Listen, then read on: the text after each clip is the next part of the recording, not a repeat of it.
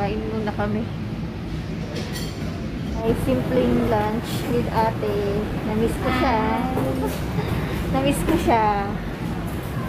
Ayun, ang sarap ng food namin, no? Tara, kain na tayo.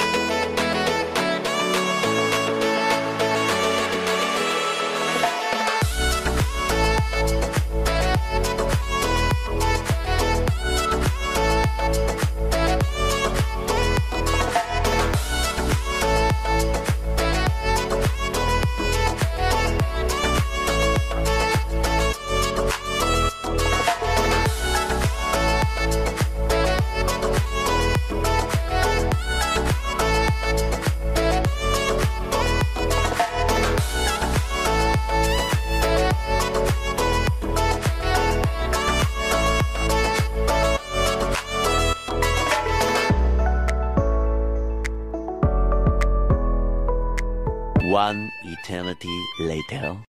Guys, nag-ice cream naman kami ni ate. Ngayon lang ulit kami nagkita.